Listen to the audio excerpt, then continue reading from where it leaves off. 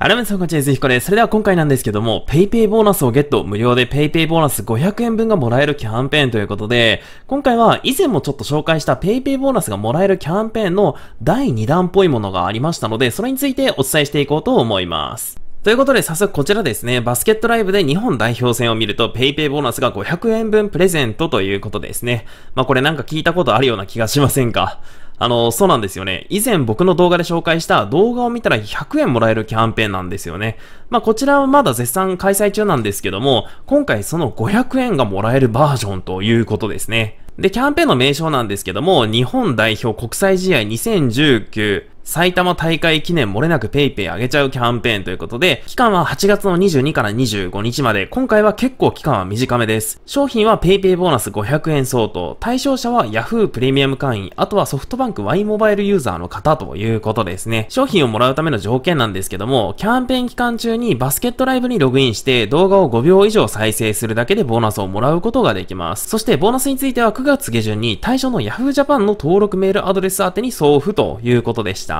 で、今回の注意点としたら1人1回ということと、あの、以前動画でも紹介した100円分の PayPay ボーナスがもらえる、みんなで日本代表戦を見よう漏れなく PayPay あげちゃうキャンペーンと、こちらは同時参加可能ということでしたので、今回のキャンペーンも問題なく参加可能という風になっています。念のためやり方なんですけども、まずはリンクにアクセスしたら一番左の画面になるんですけども、まず丸1番でログインで PayPay ボーナスをゲットをタップして、丸2番、ログインしてない方はここでログインをします。そして丸4番、同意して始めるをタップして、丸5番、うまくログインができたら、ここで5秒以上を動画を流すだけで大丈夫ということですね。めっちゃ簡単ですね。ということで今回のキャンペーンのリンクも概要欄に貼ってますので、ぜひ Yahoo プレミアム会員の方、あとはソフトバンク Y モバイルユーザーの方は、しっかりキャンペーンの内容を読んだ上で試してみてください。まあそんなこんなで今回は5秒動画を見るだけで500円の PayPay ボーナスがもらえるというキャンペーンについてお伝えさせていただきました。ご視聴どうもありがとうございました。